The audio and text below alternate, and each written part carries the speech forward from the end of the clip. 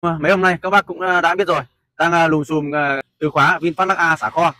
Thì hôm nay em sẽ xả kho luôn cho các bác một chiếc xe Lắc SA bản full đời năm 2019 và chiếc xe Lắc SA bản full này là màu bạc. Bác chủ đã độ hơn 100 triệu tiền đồ rồi. Thì hôm nay các bạn hãy cùng tôi đi xem là bác chủ độ những đồ gì cho xe. Xin mời các bác. Món đầu tiên là bác chủ đã độ đèn vi laser cho chiếc Lắc SA full này món thứ hai là bác chủ đã độ cửa hít.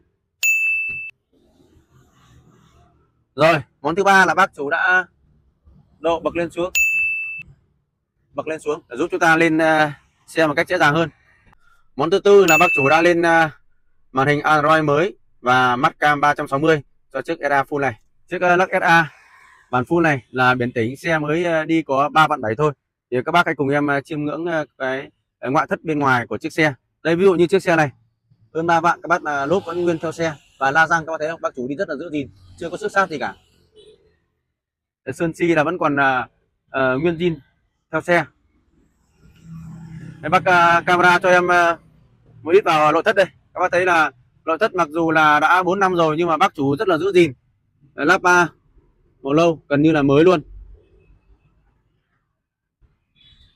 Hôm nay em xả kho chiếc lắc SA bản full màu bạc này cho các bác xe đã được uh, độ hơn 100 triệu uh, tiền phụ kiện rồi và giá em để cho các bác uh, rất là hợp lý 745 triệu bác nào đang quan tâm chiếc Lux SA bản full màu bạc uh, thì hãy cùng uh, inbox và comment cho em Sơn để em Sơn hỗ trợ và tư vấn uh, tốt nhất cho các bác.